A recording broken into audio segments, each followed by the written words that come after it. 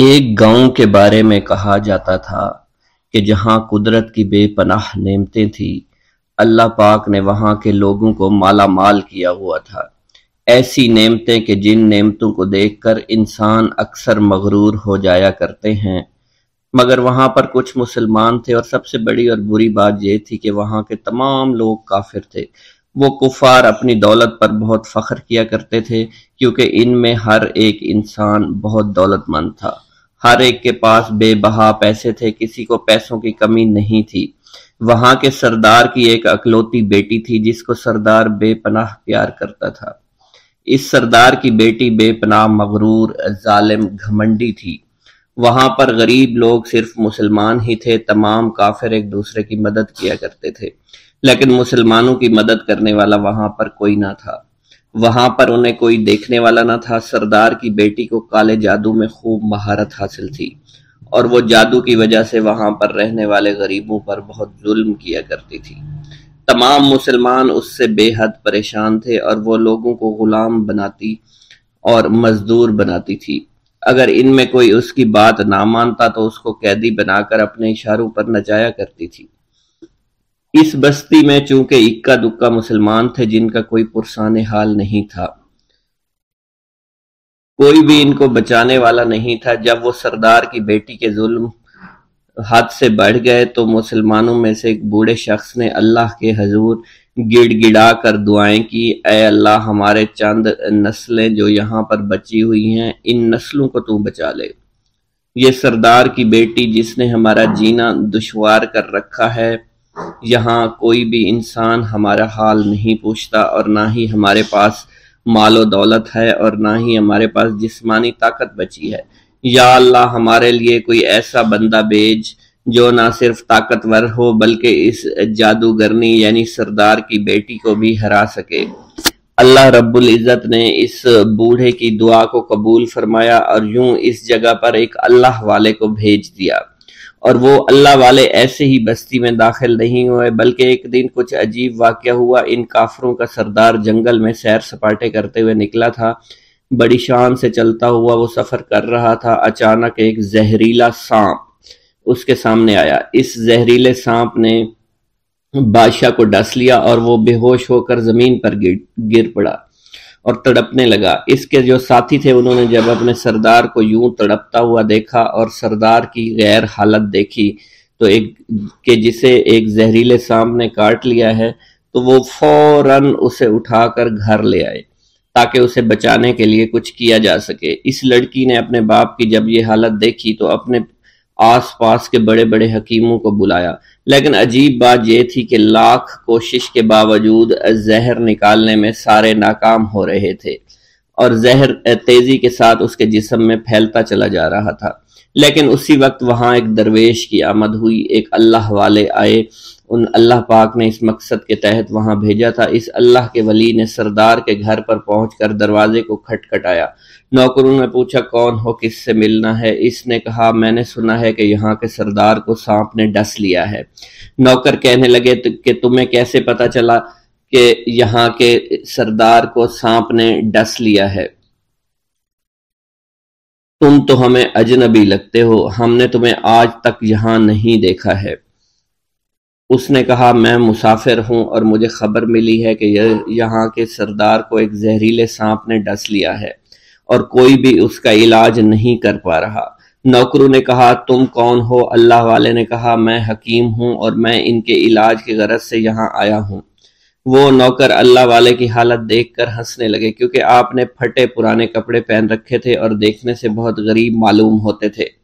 وہ نوکر کہنے لگے کہ اتنے بڑے سردار کا علاج کرو گے ارے یہاں تو اس کے پاس بڑے بڑے حکیم بلائے گئے ہیں، ہمارے سردار کے پاس پیسوں کی کوئی کمی نہیں ہے۔ اور وہ تم جیسے غریب سے بھلا کیوں علاج کروائیں گے؟ درویش نے کہا، اگر تم چاہتے ہو تمہارے سردار کی جان بچ جائے، پھر مجھے اندر جانے دو۔ غلام کہنے لگا، ٹھیک ہے، ہم اندر جا کر اجازت لے کر آتے ہیں۔ نوکر اندر گئے، سردار کی بیٹی سے کہا، ایک غریب آیا ہے کپڑوں سے فقیر معلوم ہوتا ہے۔ لیکن کہتا ہے، میں سردار کا علاج کر سکتا ہوں اور میں سردار کا علاج کروں گا۔ جو زہر تیزی کے ساتھ جسم میں پھیل رہا ہے، میں اس کو باہر نکال پھینک کروں گا۔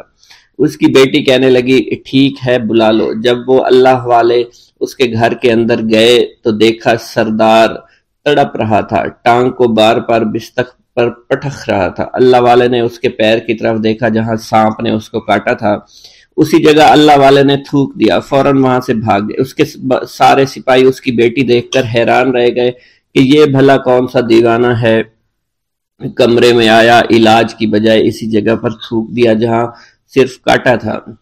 اور بھاگ بھی گیا، اس کو کوئی گرفتار نہیں کر سکا۔ سردار کی بیٹی غصے میں تل ملاؤ، ٹھیک ہے، اس نے جو گستاخی کی ہے، اس کی کوئی بات نہیں۔ تھوک کو میں صاف کروا دوں گی۔ مگر اس کو تو میں ابھی گرفتار کرواتی ہوں۔ اور اس نے اپنے سردار کے ایک نوکر سے کہا کہ اس تھوک کو صاف کرو۔ اس نوکر نے تھوک کو صاف کرنے کی بجائے اس کو اچھی طرح سے ٹانگ پر مل دیا۔ لڑکی نے کہا، کیا کر رہے ہو؟ اس فقیر نے میرے باپ کی ٹانگ پر تھوک دیا۔ اب اس تھوک کو تم مل رہے ہو۔ حکیم نے اپنے ہاتھ کے اشارے سے سردار کے بیٹے کو روک دیا۔ جیسے اس تھوک کو سردار کی ٹانگ پر ملا گیا، فوراً سارا زہر ختم ہو گیا۔ جو ٹانگ کٹنے کے قابل تھی، وہ ٹانگ بالکل ٹھیک ہو چکی تھی۔ جو نیلی پڑ چکی تھی، اب اصلی حالت میں آہستہ آہستہ واپس آ رہی تھی۔ اور جب وہ قبیلے کا سردار بالکل ٹھیک ہو گیا، ہوش میں آ گیا، تو حیران رہ گیا۔ اسے بتایا کہ فقیر بابا کے تھوک کی وجہ سے آپ ٹھیک ہوئے اس نے کہا، وہ بزرگ تو ہمارے لیے مسیحا ہے۔ تم لوگوں نے انہیں جانے کیوں دیا؟ انہیں میرے پاس لے کر آؤ۔ انہوں نے ہم پر بہت بڑا احسان کیا ہے۔ ہم اس کے احسان کا بدلہ ضرور چکائیں گے۔ اس کی بیٹی جو خاموشی سے باپ کو دیکھ رہی تھی، اس نے کچھ بھی نہ کہا۔ گاؤں کے سردار کے کہنے پر سارے سپاہی اللہ والے کو ڈھونڈنے کے لیے نکل گئے۔ وہ چاروں طرف پھیل گئے لیکن کہیں بھی اللہ والے کا پتہ نہیں چل رہا تھا۔ پھر جب سپاہی تلاش کرتے کرتے جنگل میں داخل ہوئے، وہاں ایک درخت کے نیچے ایک آدمی کو عبادت کرتے ہوئے دیکھا۔ وہ غور سے اس کو دیکھ رہے تھے اور کہہ رہے تھے، یہ کس طرح کی عبادت کر رہے ہم لوگ تو اپنے بتوں کے آگے ہاتھ جوڑتے ہیں، یہ نہ جانے کس کو سجدہ کر رہے ہیں۔ خیر، عبادت کے فوراً بعد اللہ والے کو پکڑ لیا، گاؤں کے سردار کے سامنے پیش کیا۔ وہ کہنے لگا، آپ کون ہیں اور کہاں سے آئے ہیں؟ سب سے پہلے تو میں گستاخی کی معافی چاہتا ہوں۔ میرے لوگوں نے آپ کے ساتھ بڑی بدتمیزی کی، لیکن آپ کی وجہ سے آج میں زندہ ہوں۔ ہم گناہ گاروں کی وجہ سے آپ جیسے لوگوں کو بہت تکلیف ہوئی ہے، اس لیے میں معذرت چاہتا ہوں۔ آپ سے درخواست کرتا ہوں کہ آپ میری طرف سے یہ قیمتی لباس یعنی کپڑے اور عربی گھوڑا قبول کیجیے۔ اللہ والوں نے اس کی طرف مسکرا کر دیکھا اور کہا، یہ گھوڑا، یہ لباس بہت قیمتی ہے، مگر یہ لباس پہن کر اس گھوڑے کے لیے گھاس کاٹوں گا تو کیا اچھا لگوں گا؟ سردار نے کہا، فکر نہ کریں، گھوڑے کے ساتھ ساتھ ہم آپ کو نوکر بھی دیں گے۔ اللہ والے نے کہا کہ اتنی مال و دولت اور نوکروں کے ساتھ میں اکیلا رہوں گا۔ گاؤں کا سردار بولا، حضور، آپ کی یہ بات سن کر میں سوچ میں گم ہو گیا ہوں، لیکن یہ میری بیٹی آپ کے سامنے حاضر ہے۔ بیٹی حیرت سے اپنے باپ کو دیکھ رہی تھی کہ میرا باپ اب کیا کہنے والا ہے۔ سردار نے کہا، میری بیٹی جسے آپ نے دیکھ لیا ہے، اس کی شادی میں آپ سے کر دوں گا۔ مگر ایک شرط ہے کہ آپ کو اپنے مذہب کو چھوڑنا پڑے گا۔ میرے سپاہیوں نے آپ کو عبادت کرتے ہوئے دیکھا ہے، جہاں تک ہمارے معمولات ہیں، ہم بتوں کے آگے سجدہ کرتے ہیں اور ان کی عبادت کرتے ہیں۔ اور آپ جس کے آگے سجدہ کرتے ہیں وہ اللہ ہے۔ یعنی آپ مسلمان ہیں، اس لیے آپ کو اپنا مذہب چھوڑنا پڑے گا۔ کیا آپ ایسا کر سکتے ہیں؟ اللہ والے نے کہا کہ مجھے ایک بات بتائیے۔ آپ سب کچھ دیکھ رہے ہیں۔ آپ نے مجھے یہ بھی دعا دی کہ میری اولادیں ہوں اور آپ کی نسل آپ کی بیٹی سے چلے گی۔ مجھے ایک بات بتائیں، اگر ان بچوں میں سے کسی بچے کو خدا نہ خواستہ کچھ ہو گیا تو کس کو رونا پڑے گا؟ سردار نے جواب دیا، اگر خدا نہ خواستہ کچھ ایسا ہوا تو رونا مجھ کو ہی پڑے گا۔ اللہ والا نے مسکرا کر کہا، اگر یہ سارا مال لے کر مجھے رونا ہی پڑا تو آپ اپنا گھوڑا، اپنی دولت، اپنی بیٹی، ہر چیز اپنے پاس رکھ لو۔ میں خوش ہوں، میں مسلمان ہوں، میں ٹھیک ہوں۔ اگر یہ تمام چیزیں لے کر مجھے اپنا محلہ چھوڑنا پڑے تو میں اپنی جان دے کر بھی اپنے مذہب کو نہیں چھوڑوں گا۔ جس طرح آپ نے مجھے مجھے نوازا ہے، میں اسی رب کے دین کو چھوڑ کر چلا جاؤں گا۔ صرف چند پیسوں کی خاطر میں ہر دن پیسہ پیسہ نہیں کر سکتا۔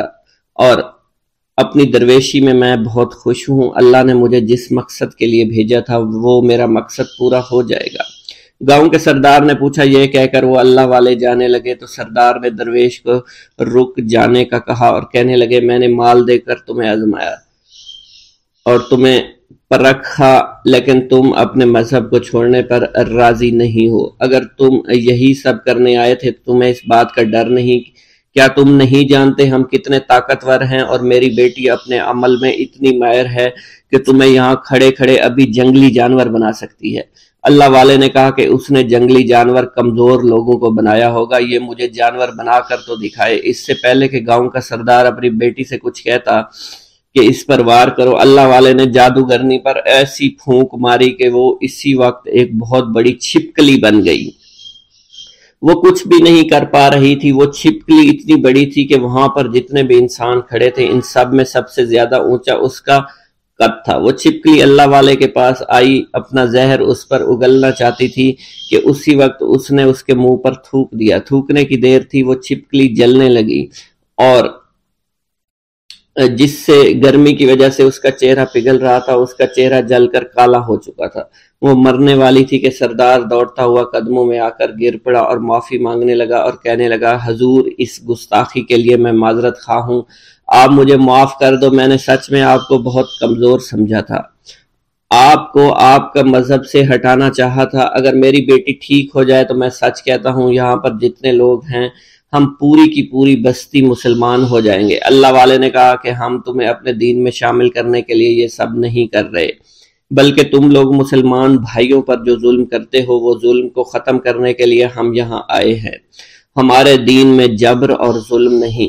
اگر تمہارے بیٹی سے انسان بن کر سدھر جاتی ہے، تو اس کو اس کی اصلی حالت میں لانے کے لیے میں خود کو اللہ کی بارگاہ میں پیش کروں گا اور دعا کروں گا۔ سردار کہنے لگا کہ ہاں ہاں میری بیٹی، اصلی حالت میں اگر آ جائے تو پھر ہم کسی پر ظلم و ستم نہیں کریں گے۔ اور میں دل سے اپنی بیٹی کے لیے معافی چاہتا ہوں۔ آج سے یہ کوئی بھی جادو ٹونا اور مسلمانوں کو تنگ نہیں کرے گی اور نہ ہی کسی مسلمان پر یہ ظلم اور جبر کرے گی۔ بس آپ اسے دوبارہ سے انسان بنا دے اللہ والا نے چھپکلی پر دوبارہ سے پھونک ماری تو پھر سے انسان بن گئی۔ اور اللہ والے کے قدموں سے وہ لپٹ گئی، کہنے لگی، مجھے معاف کر دیجیے، مجھے معاف کر دیجیے، میں نے اپنے آپ کو بہت طاقتور سمجھا۔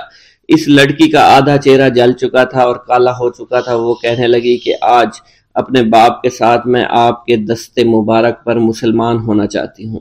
میں وعدہ کرتی ہوں کہ آج سے اس بستی پر کوئی بھی کافر کسی مسلمان کے ساتھ بدتمیزی نہیں کرے گا، زیادتی نہیں کرے گا، ظلم اور جبر نہیں کرے گا۔ بلکہ ہم سب یہاں مل جل کر رہیں گے اور بھائی چارے کے ساتھ رہیں گے۔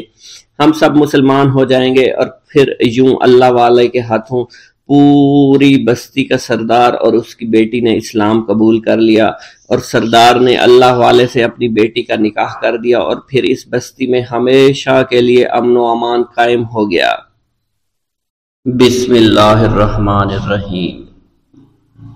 ناظرین گرامی، روایت میں آتا ہے کہ قطب القتاب حضرت شیخ عبد القادر جیلانی، الحسنی والحسینی الجیلانی حضرت غوث اعظم شیخ عبد القادر جیلانی رحمۃ اللہ علیہ جب نماز ادا کرتے تو بہت زار و قطار رویا کرتے یعنی گریا زاری کیا کرتے تھے۔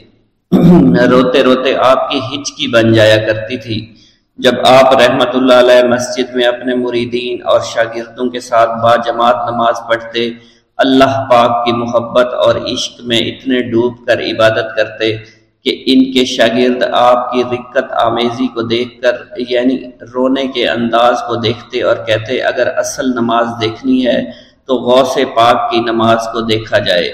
تو ایک بار کا ذکر ہے کہ آپ رحمت اللہ علیہ عراق کی مسجد میں سے با جماعت نماز پڑھ کر باہر نکلے۔ آپ کے مریدین بھی آپ کے ساتھ تھے۔ آپ نے دیکھا کہ اسی محلے میں کچھ بچے اخروٹ کے ساتھ کھیل رہے ہیں۔ آپ بچوں سے بہت پیار کیا کرتے تھے۔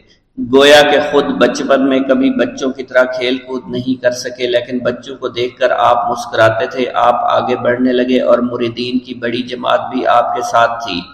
ابھی آپ زیادہ دور نہیں گئے تھے کہ ان بچوں نے ایک دوسرے کے کان میں کچھ بولنا شروع کر دیا۔ اور اشارے میں باتیں کرنے لگے کہ کیا خیال ہے کہ جو بابا جی سب سے نمایاں ہیں، نورانی چمکتے ہوئے چہرے والے ہیں، سب سے آگے چل رہے ہیں۔ ان کو بولا جائے جو فرمائش ہمیں کرنی ہے، ان سے کر دیں۔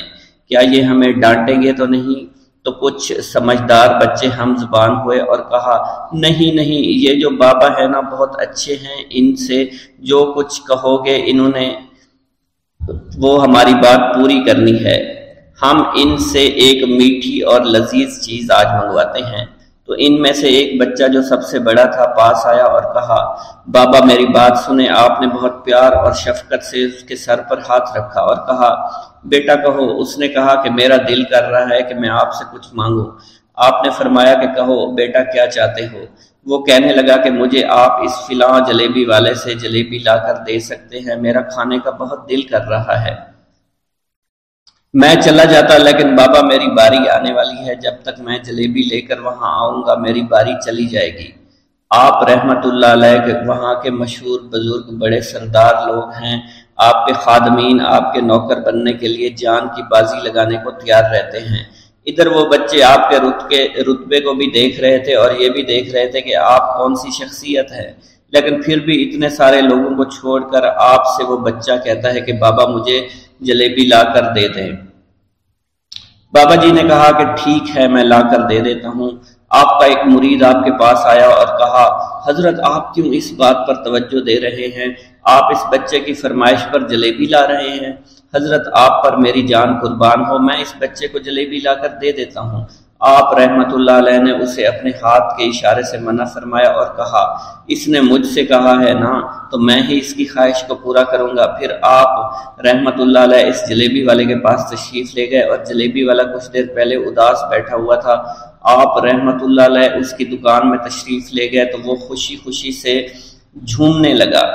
آپ رحمت اللہ علیہ نے اس جلیبی والے سے جلیبی لی، اس نے خوشی خوشی آپ رحمت اللہ علیہ کے ہاتھوں میں جلیبی تھما دی۔ وہ آدمی لگ بھگ ستر سال کا تھا، اس بڑھاپے میں بھی وہ کام کرنے پر مجبور تھا۔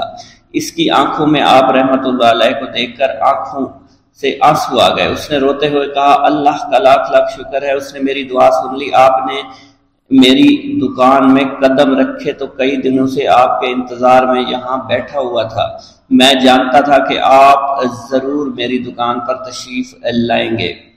آپ رحمت اللہ علیہ نے فرمایا، تمہیں کیسے پتا تھا کہ میں تمہاری دکان پر آؤں گا؟ وہ کہنے لگا کہ حضرت عرصہ ہوا ہے، کئی مہینوں سے میرا کاروبار نہیں چل رہا تھا۔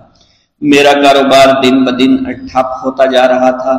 فاقوں تک کی نوبت آ گئی تھی۔ مجھے اپنی فکر نہیں تھی، لیکن اپنے چھوٹے چھوٹے بچوں کی تھی۔ اس بڑھاپے میں اللہ تعالیٰ نے اولاد تو دی، لیکن ان کی ان کو پالنے کا کوئی بندوبست نہیں ہو رہا تھا۔ میں نے اپنی اس پریشانی کا ذکر کسی سے کیا تو اس نے کہا کہ عراق کے ایک شہر میں چلے جاؤ، وہاں پر کوئی ایک فقیر ہے، اس سے دعا کراؤ۔ وہ جس کے لیے دعا کرتے ہیں، اس کا کام بن جاتا ہے۔ میں اتنا پریشان تھا کہ اس آدمی کے کہنے پر اس فقیر سے ملنے چلا گیا۔ اس کی تلاش کر کے میں نے اس سے کہا، تم میرے لیے دعا کرو تاکہ میرے کاروبار میں ترقی ہو جائے اور میرے رزق میں برکت ہو جائے۔ اور تنگ دستی دور ہو جائے تاکہ میں بیوی بچوں کا پیٹ پال سکوں۔ فقیر مجھے دیکھ کر کہنے لگا کہ تم پیران پیر غوث اعظم دستگیر رحمت اللہ علیہ کو نہیں جانتے۔ میں نے کہا، میں نہیں جانتا۔ وہ کہنے لگا، حیرت ہے کہ تمہیں یہ پتہ نہیں کہ تم ان کو جانتے ہی نہیں کہ ولیوں کے سردار ہیں۔ میں تو بہت چھوٹا سا فقیر ہوں۔ میری دعاؤں میں اتنا اثر نہیں کہ وہ غوث اعظم رحمت اللہ علیہ ہیں۔ جس کے لیے بھی دعا کریں، اس کا بیڑا پار ہو جایا کرتا ہے۔ اور جب اس دور میں غوث پاک رحمت اللہ علیہ خود موجود ہے تو پھر ہمارا کیا مقام ہوگا؟ ان کی دعا کے آگے۔ ہماری دعا کچھ بھی نہیں ہے۔ میں نے کہا، اگر یہ بات ہے کہ آپ سے بڑا کوئی بزرگ ہے، تو مجھے بتائیے کہ غوث پاک رحمت اللہ علیہ مجھے کہاں ملیں گے؟ اور میں کہاں جاؤں؟ ان سے ملنے کے لیے وہ کہنے لگا کہ وہ جیلان میں ہیں، تم ادھر جاؤ، ہماری کیا ضرورت کہ آپ کے لیے دعا کریں؟ آپ رحمت اللہ علیہ جس کے لیے بھی دعا فرماتے ہیں، اس کا بیڑا پار ہو جاتا ہے۔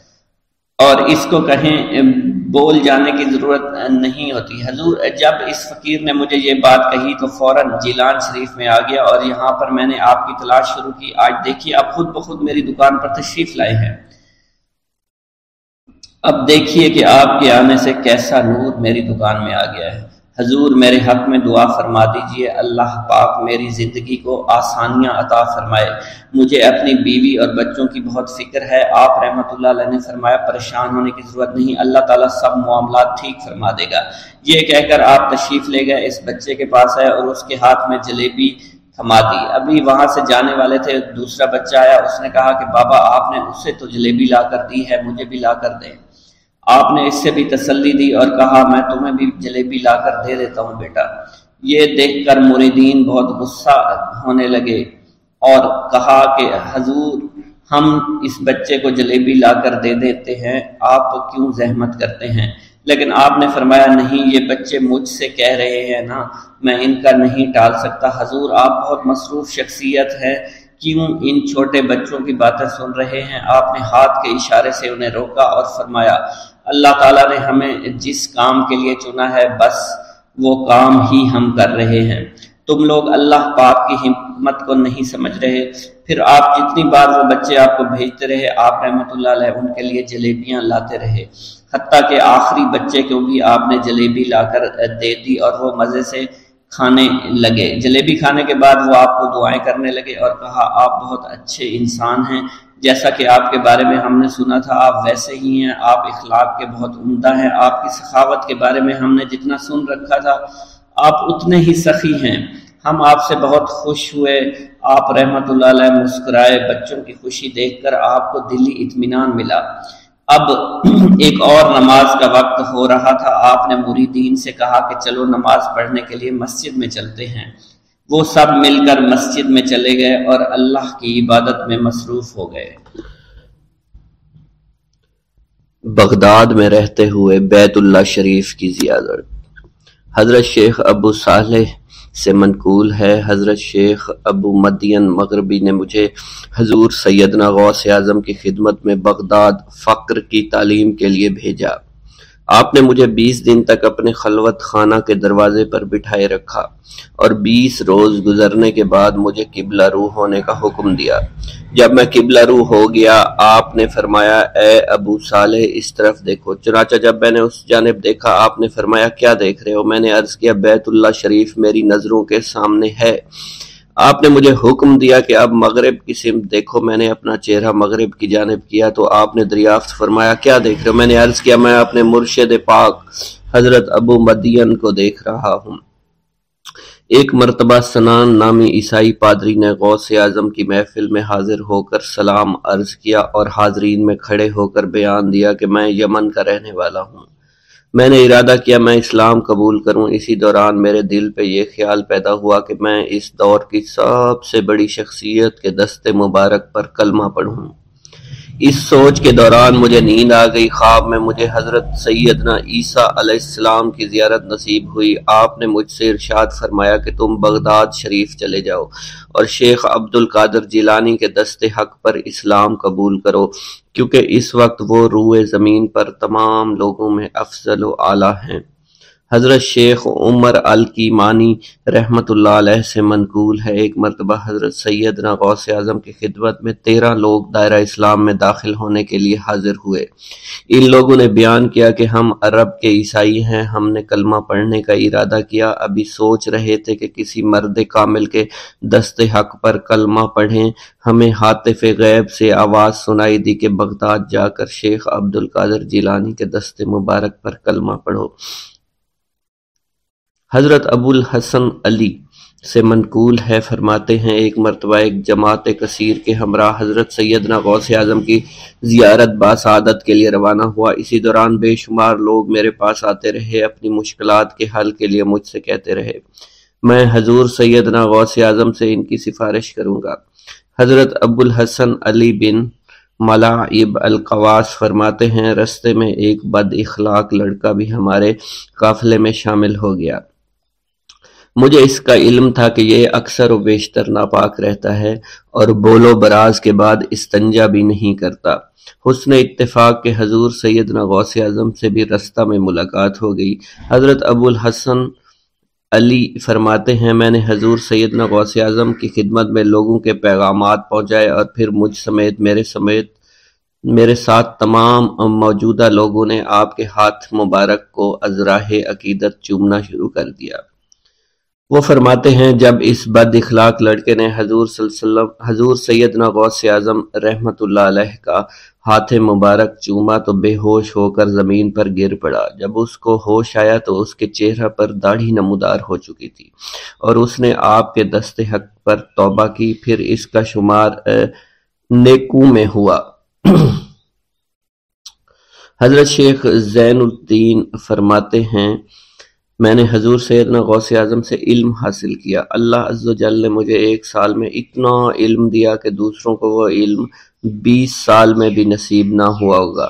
میں نے آپ سے مصر جانے کی اجازت طلب کی تو آپ نے فرمایا، دمشق پہنچ کر غازیوں کو مصر میں داخل ہونے کے لیے تیار پائے گا تاکہ اس پر قابض ہو جائیں۔ مگر ان سے کہنا، وہ ہرگز کامیاب نہیں ہوں گے۔ ہاں دوسری مرتبہ وہ ضرور کامیاب ہوں گے۔ حضرت شیخ زین الدین فرماتے ہیں، جب میں دمشق پہنچا، میں نے وہی حال پایا۔ آپ نے بیان فرمایا، میں نے ان سے کہا تو وہ نہ رکے۔ جب میں مصر پہنچا، میں نے خلیفہ کو ان کو مقابلے کے لیے تیار کیا۔ میں نے خلیفہ سے کہا، گھبراؤ نہیں، تم کامیاب ہو جاؤ گے۔ جب غازی مصر پہنچے تو ان کو شکست ہوئی۔ شیخ زین الدین فرماتے ہیں، خلیفہ نے مجھے اپنا ندیم خاص مقرر کر دیا اور اپنے ہر راز سے مجھے واقفیت دے دی۔ پھر دوسری مرتبہ غازی آئے، انہوں نے مصر پر قبضہ کر لیا۔ مجھے حضور سیدنا غوث اعظم کے قول کے مطابق ہر ایک سے ڈیڑھ لاکھ دینار ملے۔ مجھے مصر میں ہر خاص و عام میں مقبولیت حاصل ہو چکی تھی اور بے شمار لوگ میرے واز سے مستفیض ہونے لگے تھے۔ حضرت سیدنا غوث اعظم شیخ عبد القادر جیلانی کی خدمت میں ایک عورت حاضر ہوئی۔ آپ سے دعا کی درخواست کی کہ اس کے ہاں اولاد ہو۔ آپ نے مراقبہ میں جا کر لوہے محفوظ کا مشاہدہ کیا تو وہاں لکھا تھا، اس عورت کی قسمت میں اولاد نہیں ہے۔ آپ نے اللہ کے حضور اس کے لیے دعا فرمائی۔ غیب سے ندائی اس کے ہاں اولاد نہیں، آپ اس کے حق میں دعا جاری رکھیں۔ یہاں تک کہ غیب سے آپ کو ندائی کہ ہم نے آپ کی دعا کی بدولت اس کو سات لڑکے عطا فرمائے۔ چنانچہ اس عورت کے ہاں یکے بعد دیگرے سات لڑکوں کی دعا کی پیدائش ہوئی۔ حضرت شیخ ابو الخیر منقول ہے، فرماتے ہیں، میں شیخ ابو حسن اور شیخ خلیل بن احمد اور شیخ ابو عبداللہ کی خدمت میں حاضر تھے۔ آپ نے فرمایا تم سب اپنی اپنی حجات بیان کرو، میں انشاءاللہ تمہاری حجات پوری کروں گا۔ شیخ ابو سعود نے کہا کہ میں ترک دنیا اختیار کرنا چاہتا ہوں۔ شیخ ابو قائد نے کہا میں مجاہدی کی قوت چاہتا ہوں۔ شیخ ابزاز نے کہا کہ میں خوف الہی چاہتا ہوں۔ شیخ فارسی نے کہا اللہ کے ساتھ میرا ایک حال ہے جسے میں کھو بیٹھا میں چاہتا ہوں کہ میرا وہ حال لوٹ آئے۔ شیخ جمیل نے کہا میں حفظ وقت چاہتا ہوں۔ شیخ عمر نے کہا کہ میں علم کی زیادتی چاہتا ہوں۔ حضرت شیخ ابو الخیر محفوظ فرماتے ہیں، حضور سیدنا غوث اعظم نے فرمایا، انشاءاللہ تم سب کی حاجات جلدی پوری ہوں گی۔ چنانچہ آپ کا قول پورا ہوا اور تمام لوگوں کی حاجات پوری ہوئی ماں سوائے شیخ خلیل کے، کیونکہ حضرت شیخ خلیل نے قطبیت مانگی تھی جس کا ابھی وقت نہیں آیا تھا۔ حضرت ابو سعود فرماتے ہیں حضرت شیخ حماد دباس کی خدمت میں حاضر ہو کر عرض کیا، حضور میں ملک شام کی جانب مال تجارت لے کر جانا چاہتا ہوں اور میرا یہ قافلہ تیار ہے، میرے پاس سات سو دینار کا مال ہے۔ حضرت شیخ حماد دباس نے فرمایا، اگر تم اس سال سفر کرو گے تو تم سفر میں ہی قتل کر دیے جاؤ گے اور تمہارا تمام مال و اسباب لوٹ لیا جائے گا۔ حضرت حماد باس کی بات سن کر وہ تاجر حضور سید غوث اعظم کی خدمت میں حاضر ہوا اور حضرت حماد باس کی بات بیان کر دی۔ آپ نے فرمایا کہ تم سفر پر جاؤ، میں تمہارا ضامن ہوں۔ آپ کا فرمان سن کر وہ سامان تجارت لے کر شام پہنچا۔ اپنا تمام مال فروخت کرنے کے بعد وہ تاجر اپنے کسی کام سے حلب کیا وہاں ایک مقام پر اس نے ایک ہزار دینار رکھ دیا اور حلب میں اپنی قیام گاہ پر واپس آ گیا۔ اس نے خام میں دیکھا، عرب بتو نے ایک قافلہ لوٹا ہے، قافلہ کے کئی آدمیوں کا قتل کیا جس میں وہ شامل ہے اس کے بعد وہ بیدار ہوا، گھبرا کر اس جگہ پہنچا جہاں اس نے ایک ہزار دینار رکھے تھے۔ اس کے دینار وہیں پر رکھے، اس کو مل گئے۔ دینار لے کر واپس قیام گاہ پہنچا۔ بغداد شریف واپس جانے کی تیاری شروع کر دی۔ جب وہ تاجر بغداد شریف واپس پہنچا تو پہلے حضرت حماد عباس کی خدمت میں حاضر ہوا تو آپ نے فرمایا کہ تم پہلے حضور سیدنا غوث اعظم کی خدمت میں حاضر ہوا کیونکہ وہ محبوب سبحانی ہیں۔ انہوں نے اللہ کے حضور تمہارے لیے ستر مرتبہ دعا مانگی، یہاں تک کہ تمہاری حقیقت کو خواب میں بدل دیا گیا۔ وہ تاجر آپ کی خدمت میں حاضر ہوا اور آپ نے حضرت حماد باس کی بات کی تصدیق بھوک اللہ کے خزانوں میں سے ایک خزانہ ہے۔ حضرت شیخ ابو محمد فرماتے ہیں، ایک روز میں حضور سیدنا غوث اعظم کی خدمت میں ایسی حالت میں حاضر ہوا کہ فاقہ سے تھا اور میرے اہل و عیال بھی کئی دنوں سے بھوکے تھے۔ میں نے آپ کی خدمت میں سلام عرض کیا تو آپ نے میری دلی کیفیت کو بھانپتے ہوئے فرمایا۔ اے جونی بھوک اللہ تعالیٰ کے خزانوں میں سے ایک خزانہ ہے اور اللہ عز و جل جس کو دوست رکھتا ہے، اس کو فاقہ کی نعمت عطا فرما دیا کرتا ہے۔ حضرت شیخ زین الدین فرماتے ہیں، ایک مرتبہ میں اور ایک میرا دوست حج کی ادائیگی کے بعد بغداد شریف آئے۔ بغداد شریف میں ہم کسی کو جانتے نہیں تھے اور ہمارے پاس صرف ایک قبضہ کمان تھی، جسے فروخت کر کے ہم نے کچھ چاول خریدے اور انہیں پکایا۔ ہم ان چاولوں سے سیر نہ ہو سکے اور نہ ہی ہمیں کوئی لطف محسوس ہوا۔ بعد ازاں ہم حضور سیدنا غوث اعظم کی محفل میں حاضر ہوئے تو آپ کچھ کلام فرما رہے تھے۔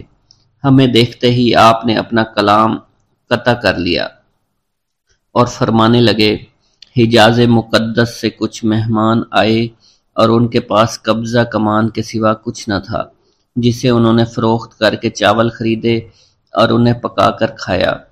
لیکن نہ ہی وہ سیر ہوئے اور نہ ہی لطف اندوز۔ حضرت شیخ زین الدین ابو الحسن علی بن ابو طاہر ابراہیم انصاری فرماتے ہیں، ہم نے جب حضور سیدنا غوث اعظم کا یہ کلام سنا تو ہم نہایت حیران ہوئے۔ محفل کے اختتام پر آپ نے دسترخوان بچھوایا۔ میں نے آہستگی سے اپنے دوست سے اس کی پسندیدہ چیز کے متعلق پوچھا تو اس نے کہا، حلوہ کھانا چاہتا ہے اور میرے دل میں اس وقت شہد کی خواہش پیدا ہوئی۔ ابھی یہ سب کچھ ہمارے دلوں میں ہی تھا کہ حضور سیدنا غوث اعظم نے اپنے خادمین کو حکم دیا، جاؤ حلوہ شہد لے آؤ۔ خادمین نے حکم کی، تعمیل کی اور حلوہ اور شہد ہمارے سامنے لا کر رکھ دیا۔ آپ کا اس طرح ہمارے دلوں کی بات پر مطلع ہونے سے ہم حیران رہ گئے۔ حضرت ابو حفظ عمر بن صالح بغدادی ایک مرتبہ اپنی اونٹی، اونٹنی کو ہانکتے ہوئے حضور سیدنا غوث اعظم کی خدمت میں حاضر ہوئے۔ عرض کرنے لگے، حضور، میں حج کے لیے بیت اللہ شریف جانا چاہتا ہوں، مگر میری یہ اونٹنی میرا ساتھ دینے کے قابل نہیں ہے اور فی الحال میرے پاس کوئی دوسری سواری بھی نہیں ہے۔ آپ نے اس اونٹنی کی پشت پر ہاتھ پھیرا۔ اس کے بعد حضرت ابو حفظ عمر بن صالح بغدادی نے اس اونٹنی کو ایڑی لگائی۔ تو وہ اونٹنی بیت اللہ شریف تک بھاگتی ہی چلی گئی اور کوئی دوسری سواری اس کے قریب نہیں پہنچ سکی۔ حضرت ابو حامد فرماتے ہیں، میں ایک مرتبہ بغداد شریف میں حضور سیدنا غوث اعظم کی خدمت میں حاضر ہوا اور اپنا مسلح آپ کے نزدیک بچھا کر بیٹھ گیا۔ آپ نے مجھ سے فرمایا، اے حامد، تم ان قریب بادشاہوں کے دسترخوان پر بیٹھو گے۔ چنانچہ جب میں حیران واپس پہنچا تو سلطان نور الدین زنگی نے مجھے اپنے پاس رہنے پر مجبور کر دیا اور مجھے اپنا مصاحب خاص مقرر کر دیا۔ اور نازے میں اوقاف مقرر فرمایا۔ حضرت شیخ ابو المظفر اسماعیل سے منقول ہے کہ ایک مرتبہ حضرت شیخ علیہیتی بیمار ہو گئے۔ حضور سیدنا غوث اعظم ان کی عیادت کے لیے تشریف لائے۔ آپ نے ان کے نزدیک کھجور کے دو درخت دیکھے جو چار سال سے خشک تھے اور ان پر پھل نہیں آتا تھا۔ آپ نے ان درختوں کے نیچے بیٹھ کر وضو کیا اور دو رکعت نماز ادا فرمائی۔ کچھ دن گزرنے کے بعد ان درختوں پر پھل لگ گئے اور وہ دوبارہ سے سرسبز و شاداب ہو گئے۔ جھولی کو میری بھر دو ورنہ کہے گی دنیا۔ ایسے سخی کا منگتا پھرتا ہے مارا مارا۔ مولانا عبد الرحمن جامی فرماتے ہیں، حضور سیدنا غوث اعظم کا ایک مرید آپ کے ہمراہ مسجد کی جانب جا رہا تھا۔ جمعہ کا دن تھا اس دن کسی بھی شخص نے آپ کو دیکھ کر نہ سلام کیا، نہ ہی کچھ توجہ فرمائی۔ اس مرید کے دل میں خیال آیا کہ پہلے تو آپ جمعہ کی نماز کی ادائیگی کے لیے بڑی مشکل سے لوگوں کے ہجوم میں سے ہوتے ہوئے مسجد کی جانب تشریف لے جایا کرتے تھے۔ اور آج کوئی شخص بھی آپ کو سلام نہیں کر رہا ہے اور نہ آپ کے نزدیک آ رہا ہے۔ مولانا عبد الرحمن جامی فرماتے ہیں ابھی یہ خیال اس مرید کے دل میں ہی تھا کہ حضور سیدنا غوث اعظم نے مسکرا کر اس مرید کو دیکھا۔ پھر لوگوں کا ایک جمع غفیر اکٹھا ہو گیا اور ہر کوئی آپ سے سلام کرنے کا خواہش مند تھا۔ یہاں تک کہ اس مرید اور آپ کے درمیان ہجوم حائل ہو گیا۔ اس مرید کے دل میں یہ خیال آیا کہ یہ پہلا حال اچھا تھا جب میں اور آپ تنہا تھے۔ مولانا عبد الرحمن جامی فرماتے ہیں، حضور سیدنا غوث اعظم شیخ عبد القادر جیلانی نے ایک مرتبہ پھر اس مرید کی دلی کیفیت کو بھانپتے ہوئے فرمایا، تمہیں معلوم نہیں لوگوں کے دل میری مٹھی میں ہیں، میں انہیں چاہوں تو پھیر دوں، چاہوں تو اپنی جانب متوجہ کر لوں۔ ایک مرتبہ ایک عورت حضور سیدنا غوث اعظم کی خدمت میں بیٹے کو لے کر حاضر ہوئی، عرض کیا، میرے اس بیٹے کو آپ سے دلی لگاؤ ہے۔ آپ اسے اپنی غلامی میں قبول فرما لیں۔ میں اللہ عز و جل اور آپ کی خاطر اپنے بیٹے پر اپنے حق کو معاف کرتی ہوں۔ آپ نے اس لڑکے کو قبول فرما لیا۔ چند روز بعد وہ عورت اپنے بیٹے سے ملنے کے لیے آئی۔ تو وہ لڑکا آپ کے حکم سے مجاہدات میں مشغول تھا اور بے حد کمزور اور لاغر ہو چکا تھا۔ اس عورت نے جب آپ کو دیکھا تو آپ اس وقت مرغی کا گوشت کھا رہے تھے۔ آپ کے سامنے ہڈیاں پڑی ہوئی تھی اس عورت نے آپ سے کہا کہ آپ خود تو مرغی کھاتے ہیں، جبکہ میرا بیٹا سخت مجاہدات میں مشغول ہے۔ آپ نے اس عورت کی بات سننے کے بعد ہڈیوں کی جانب اشارہ کیا اور حکم دیا، اللہ عز و جل کے حکم سے زندہ ہو جاؤ۔ آپ کا یہ فرمانا تھا کہ ان ہڈیوں سے ایک سالم مرغی زندہ کھڑی ہو گئی۔ آپ نے فرمایا کہ جب تیرا بیٹا اس منزل پر پہنچ جائے گا تو پھر جو چاہے گا کھائے گا۔ منقول ہے، ایک مرتبہ حضور سیدنا غوث اعظم کو اللہ عز و جل کی جانب سے حکم ہوا کہ سات سو مردوں اور سات سو عورتوں کو واصل بلا کریں۔ آپ نے اللہ کے اس فرمان کے مطابق مجمع عام میں نظر دوڑائی تو مجمع میں سے سات سو مرد اور سات سو عورتیں علیحدہ ہو گئیں۔ آپ نے ان پر نگاہ ولایت ڈالی تو وہ سب واصل اللہ ہو گئے۔ حضور سیدنا غوث اعظم مدینہ منورہ میں حضور نبی کریم کے روزہ مبارک پر حاضری دینے کے بعد با پیادہ بغداد شریف واپس تشریف لا رہے تھے۔ راستے میں ایک چور جو کہ ناکہ لگا کر کسی مسافر کا انتظار کر رہا تھا، اس نے آپ کو قریب آنے پر روک لیا۔ آپ نے اس چور سے دریافت کیا، تم کون ہو؟ اس نے کہا، دیہاتی ہوں۔ آپ کو بذریعہ کشف، اس کی بدنیتی کی خبر ہو چکی تھی۔ اسی دوران اس چور کے دل میں خیال پیدا ہوا کہ یہ غوث اعظم ہوں گے۔ آپ نے اس کے دل کی بات کو بھانپتے ہوئے فرمایا کہ میں عبد القادر ہوں۔ چور نے جب آپ کی بات سنی، فوراً قدموں میں گر پڑا اور معافی کا خاص کار ہوا۔ آپ کو اس کی حالت پر ترس آ گیا۔ آپ نے اللہ عز و جل کے حضور اس کے لیے دعا فرمائی تو ندائے غیبی سنائی دی۔ اے غوث، اس چور کو سیدھے راستہ دکھاتے ہوئے کتب بنا دو۔ آپ نے اس چور کی جانب نگاہ دوڑائی۔ تو آپ کے فیض روحانی سے کتب کے درجے پر وہ فائز ہو گیا۔ حضرت شیخ ابو عباس خضر بن عبداللہ بن جایہ حسینی فرماتے ہیں، ایک مرتبہ میں نے خلیفہ ابو المظفر یوسف عباسی کو حضور سیدنا غوث اعظم شیخ عبد القادر جیلانی کی خدمت میں موجود پایا۔ اس نے آپ سے کسی کرامت کو دیکھنے کی درخواست کی اور کہا کہ اس سے میرا دل مطمئن ہو جائے گا۔ حضور سیدنا غوث اعظم حضرت سیدنا شیخ عبد القادر جیلانی نے خلیفہ سے پوچھا کہ تو کیا چاہتا ہے؟ اس نے کہا کہ ایک سیب اور اس وقت عراق میں سیبوں کا موسم نہ تھا۔ آپ نے اپنے دستے مبارک فضا میں بلند کیا اور دیکھتے ہی دیکھتے آپ کے ہاتھ میں دو سیب آ گئے۔ آپ نے ایک سیب ابو المظفر کو دیا اور دوسرا خود رکھ لیا۔ ابو المظفر نے جب اپنا سیب چیرا تو اس میں سے کیڑا نکل آیا۔ اس نے جب اپنا سیب چیرا تو یہ اندر سے سفید تھا، اس میں سے کستوری کی خوشبو آ رہی تھی۔ ابو المظفر نے وجہ دریافت کی تو آپ نے فرمایا، اس سیب میں سے کیڑا اس وجہ سے نکلا کیونکہ اس سیب کو ظالم کا ہاتھ لگا ہوا تھا۔ حضرت شیخ ابو محمد سے مروی ہے۔ ایک مرتبہ میں حضور سیدنا غوث اعظم کی خدمت میں بغداد شریف حاضر ہوا۔ کچھ دنوں تک آپ کے ہاں قیام پذیر رہا اور روحانی فیوز و برکات سے مالا مال ہوا۔ بعد ازاں جب میں واپس اپنے ملک مصر روانہ ہونا لگا تو آپ نے مجھ سے فرمایا کہ کبھی کسی سے کوئی چیز مت مانگنا۔ پھر آپ نے اپنی انگشت شہادت میرے منہ میں ڈالی اور فرمایا کہ اسی اچھی طرح چوسو۔